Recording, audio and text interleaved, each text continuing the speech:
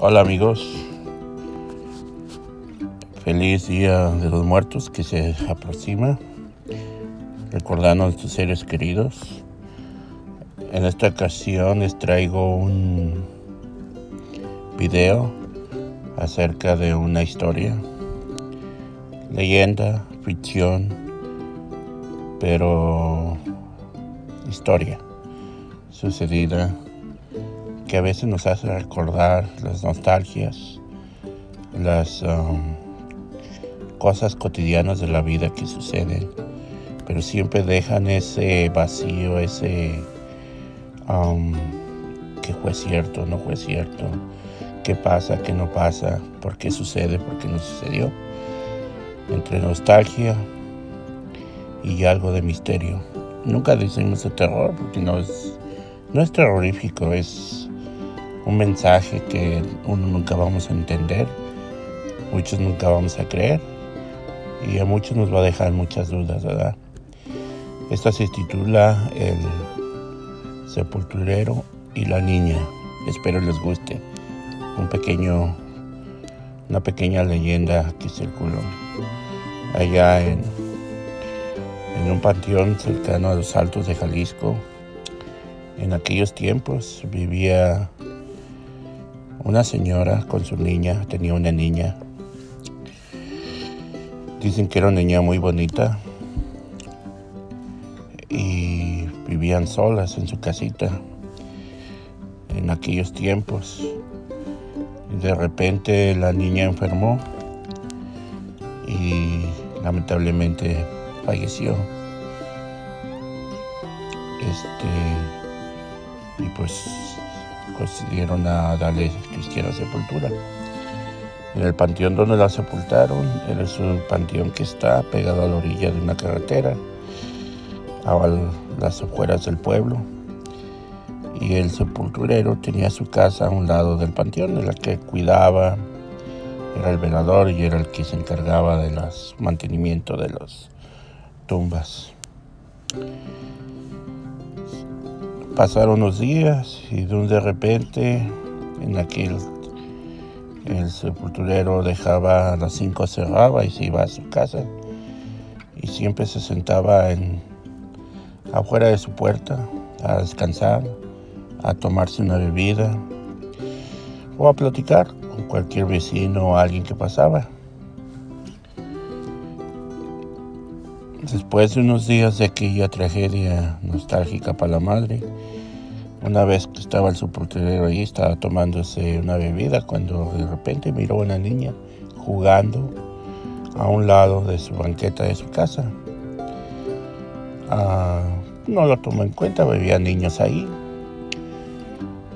Pero esto pasó este día y otro día y volvió otra vez a manifestarse la misma escena, por ahí como a las 7 de la noche.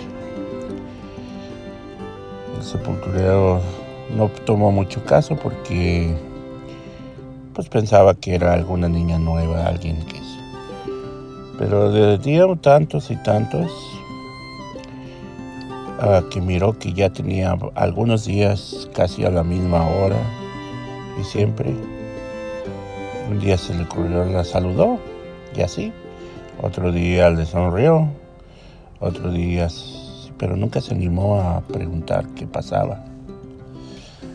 Siempre miraba en la escena, ¿verdad? Eh, el problema fue que él notó que siempre casi estaba a la misma hora y habían pasado más de dos, tres semanas de eso. Se animó a decirle y le dijo, hola niña, ¿cómo estás? Bien, ¿qué haces? ¿Jugando? No. ¿Y por qué no juegas con tus amigos? Porque no tengo ahorita amigos. ¿Y qué haces? Esperando a mi mamá. ¿Oh, estás esperando a tu mamá? Sí. ¿Ella viene aquí? Sí, ella va a venir. Oh, ok. Y así quedó. Él siguió pues no la malició, ¿verdad? Él, él siguió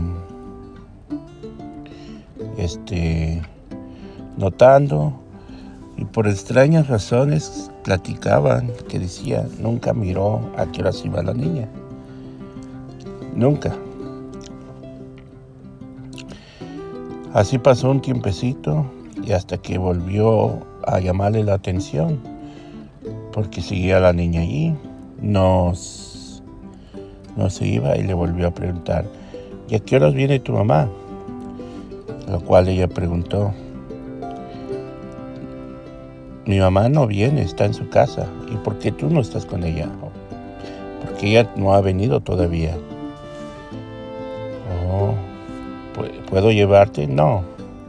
Yo estoy esperando a mi mamá. Oh. Ya en esa ocasión el cuidador del panteón se sintió un poco nervioso y empezó a cuidar a ver a quién iba la niña lo cual nunca se dio cuenta. Siempre había un motivo que se lo impedía y no, y no miraba. Hasta que un día decidió y dijo, esto algo tiene, algo no está bien. Y se sentó, llegó a trabajar, se sentó y esperó y, y miró cuando venía la niña. Miró que la niña venía saliendo del panteón en la puerta del panteón. Dijo, algo no está bien porque acabo de cerrar la puerta. Cuando llegó la niña le preguntó, ¿cómo estás? Bien. ¿Qué vas a hacer hoy? Esperar a mi mamá. si quieres te llevo con tu mamá. No, porque ya mi mamá mañana va a venir conmigo. Oye, ¿va a venir tu mamá contigo? Sí. ¿Y tú dónde vives? ¿Por qué no vives con tu mamá? Oh, es que yo vivo aquí. Eh, el sepulturero no quiso investigar más, dejó las cosas así y esperó al día de mañana cuando viniera la niña para ver a la mamá que iba a llegar, porque la dejaba sola y eso, ¿verdad? En la mañana recibió la notificación que tenía que abrir una sepultura nueva porque iban a ver una señora que había fallecido. Después hizo su, su agujero preparando la tumba y alistándose. En, llegó la llegó la hora, llegó el, el cortejo fúnebre con la mujer que había fallecido, procedieron al sepelio y él terminó de hacer el entierro, a tapar la sepultura lo cual consiguió, tapó, ya casi todos se habían ido. Y cuando iba a salir, nunca, desde que abrió la tumba, nunca se fijó que a un lado de esa tumba estaba una tumba más chiquita de una niña. Cuando iba a salir, le oyó una voz que le dijo, gracias por el tiempo que me cuidaste. Y volteó a ver y miró a la niña sentada arriba de la tumba. Ah, y le dijo, ¿qué estás haciendo aquí? Dijo, tú no puedes estar aquí, tú ya debes de irte a tu casa. Dijo, no, dijo, yo ya, yo ya no me voy a mi casa, yo voy con mi mamá. Ven, te llevo. Dijo, no hace falta, mi mamá ya está aquí conmigo y ya estoy con ella. Y miró cómo la niña se desvaneció con una sonrisa pero por pues nuestro amigo sepulturero casi se desmayó, salió del panteón con esos ojos, pues imagínense la escena que vivió. Y dicen que se lo hallaron desmayado en la puerta del panteón. No alcanzó a cerrar. Tomó salir, yo creo, del panteón. Fue algo impresionante para él. La gente, como era cerquitos, que había gente viviendo allí, fueron, lo recogieron, lo animaron y pasó el susto de su vida. Y de allí salió la leyenda del sepulturero y la niña. Una niña que falleció y siempre esperó a su mamá. Y su mamá murió de tristeza por la pérdida de su niña y llegó, su, llegó con su hija. Nunca más volvió a ver a la niña. Y platican que también el sepulturero renunció a su trabajo. Fue algo, decía él que no era algo que lo aterrorizaba, pero sí era algo que no puedes uh, digerir a la ligera, porque son cosas que te afectan porque no son de este mundo, las sobrenaturales. Pues una historia bonita, si lo ve por un lado, pero también es una historia que no creo que nos gustaría pasar a ninguno de nosotros. Esto sucedió en un panteón recordando los días de muertos, los santos inocentes, los fieles difuntos.